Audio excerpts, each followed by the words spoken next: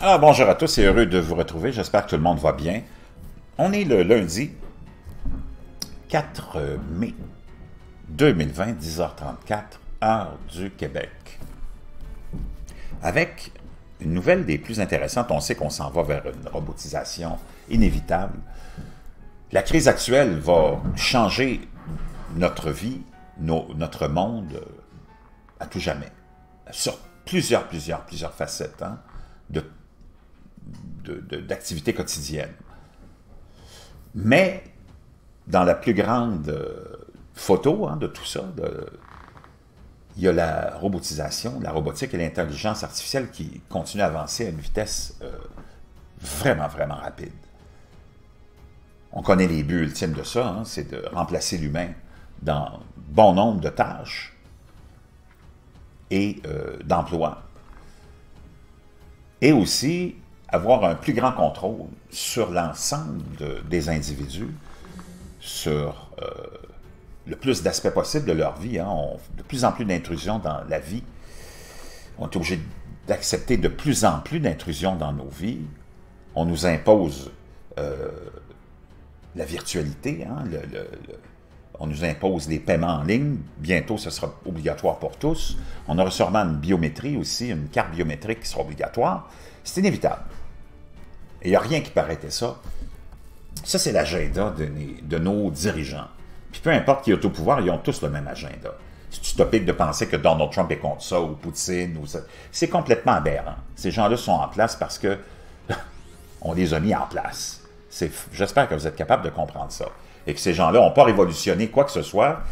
Vladimir Poutine n'a pas amélioré d'un iota la vie des Russes. Donald Trump n'a pas amélioré d'un iota la vie des Américains.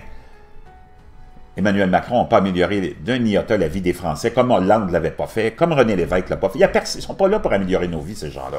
Ils sont là pour asseoir le pouvoir de l'élite et le contrôle total.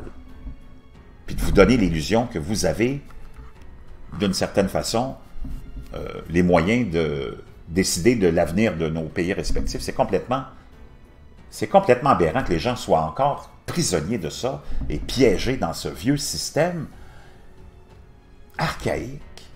Et c'est de voir comment les plus extrémistes sont les plus conformistes. ils sont attachés à ce système-là, ils sont convaincus. Les péquistes sont convaincus que le PQ, c'est la plus belle invention après le pain crotté.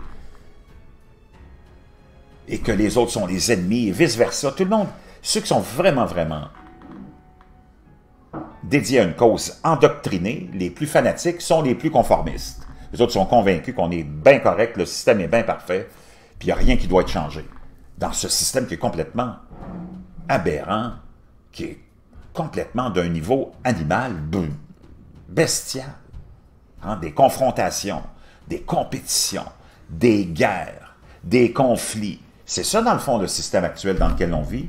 Ça fait que générer ça. Donc, il faut vraiment qu'on espère arriver à un autre niveau, mais c'est pas demain matin la veille. Quand tu regardes autour de toi la bande de loups enragés, que sont les fanatiques des deux côtés de l'allée. Donc, c'est pas demain matin qu'on va s'en sortir. Et c'est comme ça qu'eux restent au pouvoir en nous divisant, comme ça, en nous gardant dans un état primal, animal, bestial. J'avais besoin de vous dire ça, une autre fois. Un métal liquide capable de flotter sur l'eau nous rapproche un peu plus des robots transformables. Des chimistes chinois ont fabriqué un alliage liquide. Je pense que ça m'a été envoyé par euh, Salvatore, qu'on salue, ou un autre, en tout cas abonné, qu'on salue.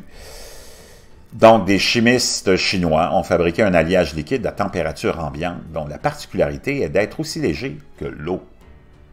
Un tel matériau pourrait servir considérablement les domaines de la robotique souple, mais aussi permettre de créer des exosquelettes, des exosquelettes plus légers. Hein?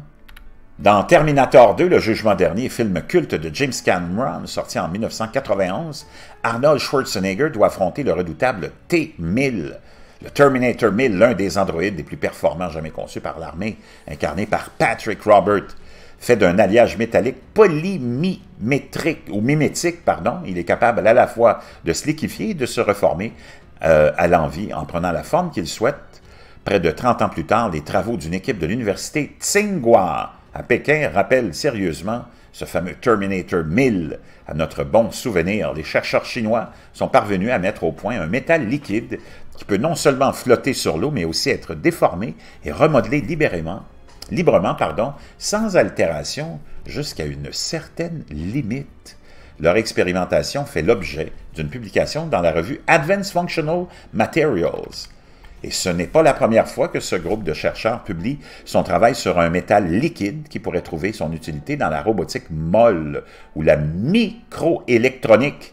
Déjà en février 2019, un article publié dans la revue ES, ou ACS, Applied Materials and Interfaces, faisait mention d'un métal étirable à volonté. Semblable au mercure, métal argenté brillant qui a la particularité de se présenter sous forme liquide dans des conditions normales de chaleur et de pression. Le ralliage trouve son point de fusion à 15,7, soit à température ambiante. Il entre aussi dans la catégorie des alliages dits eutectiques, c'est-à-dire qui fondent à une température inférieure au point de fusion individuel des métaux à partir desquels ils sont fabriqués.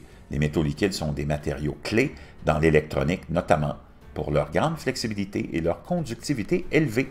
Toutefois, ces alliages ont l'inconvénient d'avoir une densité souvent trop élevée pour leur usage qu'on leur réserve. Le métal liquide, concocté par l'équipe du chimiste Jing New, lui, a l'étonnante euh, propriété d'être plus léger que l'eau, tout en conservant sa conductivité électrique et ses capacités euh, vraiment malléable, vraiment intéressant, mais on sait qu'on n'a pas le choix, on s'en va vers quelque chose qui va vraiment, vraiment changer toutes nos vies.